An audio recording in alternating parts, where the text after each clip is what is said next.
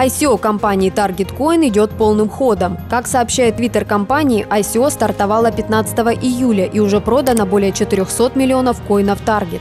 Target Coin представляет собой криптофонд, который позволит инвесторам воспользоваться ростом блокчейн-технологий и получить прибыль с поправкой на риск от множества разнообразных криптовалют. Такой подход позволит инвесторам вкладывать средства в технологию блокчейн без рисков, технических преград и денежных переводов. Инвесторы получат 85% прибыли плюс 75% за квартал в качестве бонусов.